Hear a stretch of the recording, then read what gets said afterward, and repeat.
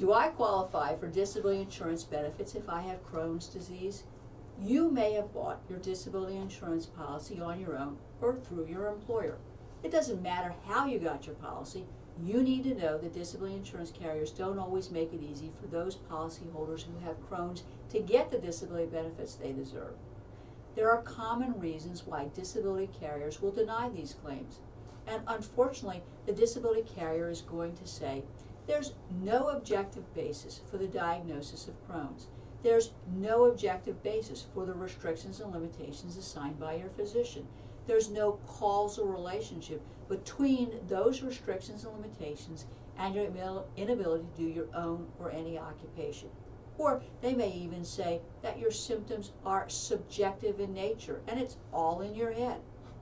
Or they may say there isn't any reason why you can't work because you're taking medication. Or they may say your symptoms are temporarily under control. Or they may say there's no reason why you can't work in a sedentary capacity so long as you're near a bathroom.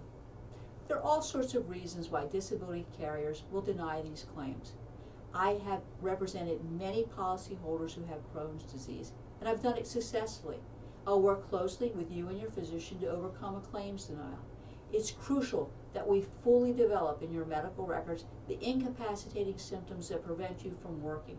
If you're ready to file a disability application for your Crohn's disease and you want to improve your chances of getting benefits, or if your benefits have been denied, it's time to call me.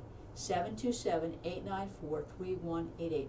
I offer a free initial consultation. I can help you get the disability benefits you deserve regardless of where you live in the United States. Call me today, 727-894-3188.